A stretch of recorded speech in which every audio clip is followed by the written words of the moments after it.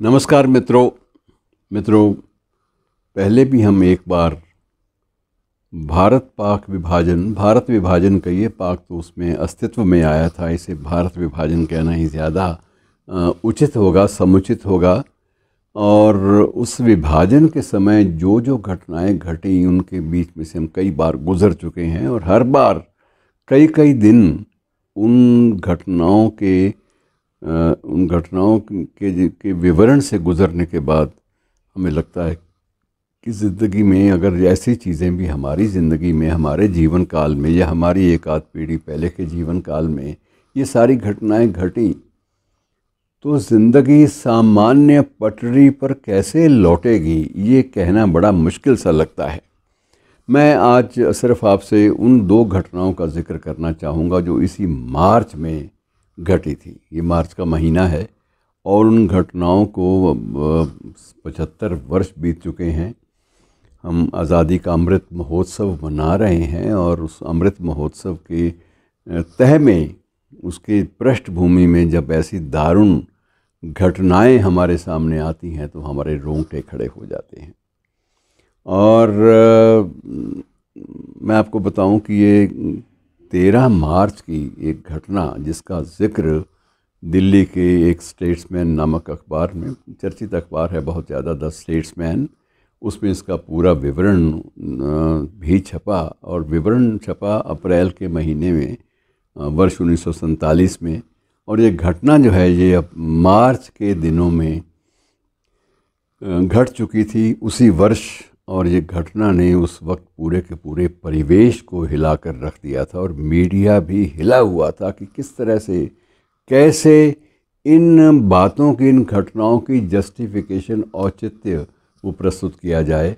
आप इसमें ये भी है कि आप जो आ, लोग इसके ज़िम्मेदार हैं आप उनको कटघरे में खड़ा नहीं कर सकते क्योंकि उनके पास भी बहुत सारे नैतिक सवाल हैं जिनके, जिनका कोई जवाब आपके पास नहीं है।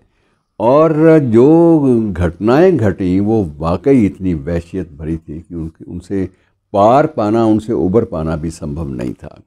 जिस घटना का मैं ज़िक्र कर रहा हूँ, ये एक गाँव में घटी, वहाँ के एक गाँव में, वहाँ के एक गाँव में जब देखा गया कि पूरे वैशियत के साथ दंगाइयों की पार्टियाँ लगातार आ रही हैं तो उस स्थिति में एक परिवार ने ये फैसला किया कि ये जिस तरह से जो जो घटनाएँ सुनने में आ रही हैं तो किसी भी औरत को बख्श नहीं रहे। किसी आदमी को भी जो विरोध करता है, उसको भी बख्श नहीं रहे।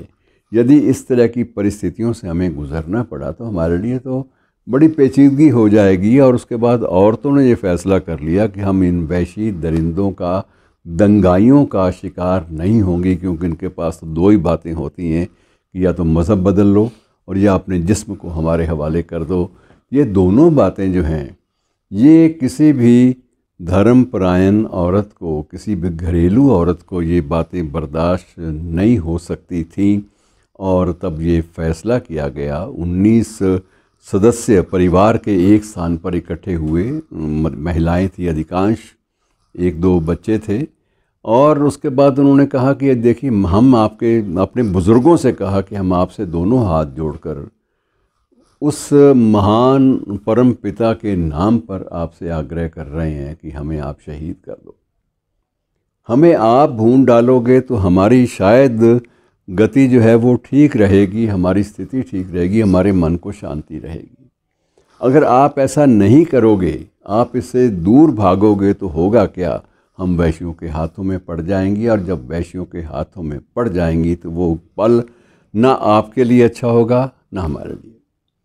आप भी जीते जी मर जाएँगे और हम भी जीते जी मर जाएँगे। इसलिए बेहतर यह है कि एक कड़ा निर्णय ले कि आप हमें शहीद कर दो, ताकि ये तो लगे कि हमने अपने धर्म की भी रक्षा कर ली, हमने अपनी आबरू की रक्षा भी कर ली और ये निर्णय जो है ये दबाव डाला गया परिजनों के ऊपर, परिवार वाले जो पुरुष सदस्य थे, उनके ऊपर दबाव डाला गया और आखिर भारी मन से उन्होंने वही किया जो उनसे कहा गया।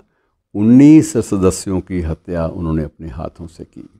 और ये बात स्वीकार भी उन्होंने बाद में अलग अलग बयानों में अलग अलग वक्तव्यों में स्वीकार भी की कि हमने जो किया, उसका कारण ये था। और हमारे पास कोई भी दूसरा विकल्प नहीं था। हम जीते जी मर जाते अगर हमने ये कड़ा कदम ना उठाया होता। लेकिन इस कड़े कदम के लिए भी हमें मजबूर किया गया और मजबूर करने वाली औरतें वही थी जो हमारे परिवारों की थी। और मित्रों, सबसे बड़ी बात यह है, दुखद जो इसका पहलू है कि पचहत्तर साल, छिहत्तर साल पहले हुई घटना उस घटना में जो दिवंगत हुई, जो शहीद हुई महिलाएँ, उन्हीं सभी 19 के नाम और उनकी तत्कालीन उम्र के हवाले से एक नाम पट्टिका वहाँ पर गुरुद्वारा परिसर में, स्वर्ण मंदिर परिसर में परिसर में ही लगा दी गई और हर वर्ष उसी दिन, जिस दिन ये हादसा घटा था, उसी दिन वहाँ पर अखंड पाठ का भोग भी होता है। और शहीद मानते हुए उन परिजनों को उनके लिए अरदास भी होती है वाहेगुरु से कि उनके अपने चरणों में स्थान दे और उनकी आत्मा को शांति दो। तो ये घटनाएँ जो हैं, ये लगातार अगली पीढ़ी भी भोग रही है। जो शहीद हुई, जिन्होंने शहीद की, वो तो शायद अब दुनिया में तो मतलब ही नहीं है शहीद करने वालों का भी, क्योंकि उम्र उनकी भी एक ऐसी थी और उनमें से जो दो चार बच्चे भी हैं बुज़ुर्ग, वो भी आज भी भारी मन से इस दिन को वाहिगुरु के नाम पर, अपने ईश्वर के नाम पर उसको वो भूल जाना चाहते हैं, लेकिन भूलने के साथ साथ वो ये भी मानते हैं कि अगर इससे शहादत हमने करार ना दिया तो हम इतना अपराध बोझ लेकर कहाँ जाएँगे? तो मित्रों ऐसी घटनाएँ, इसी तरह की एक घटना दिल्ली वाले के गुरुद्वारे की भी है।